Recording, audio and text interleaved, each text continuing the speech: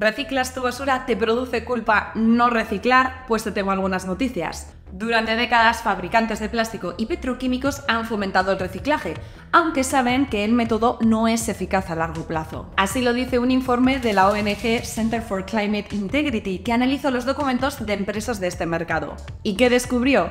Pues que en 1986 el Vinyl Institute ya había determinado que el reciclaje solo prolonga un tiempo hasta que un artículo es desechado y que no soluciona el problema de los residuos sólidos. Esta empresa, al igual que otras del sector, ya sabía que el plástico reciclado no podía competir a gran escala con el material virgen, que es mucho más barato y de mayor calidad. Entonces, ¿por qué la industria ha pasado los últimos 40 años invirtiendo en potentes campañas publicitarias a favor del reciclaje?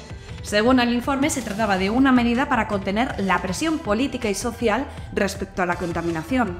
En otras palabras, las empresas querían parecer buenas y ecológicas y al mismo tiempo seguir produciendo cada vez más plástico. Y todo esto también sirvió para aliviar nuestra conciencia sobre el consumo de plástico y la basura que producimos a diario. En este tiempo, en realidad, la industria no ha hecho más que expandirse. Se estima que la producción de plástico ha crecido casi 230 veces desde 1950. Entonces, ¿esto significa que reciclar es inútil? No, puedes seguir reciclando como siempre, pero ahora sabes que funcionaría más reducir la cantidad de plástico que consumimos a diario.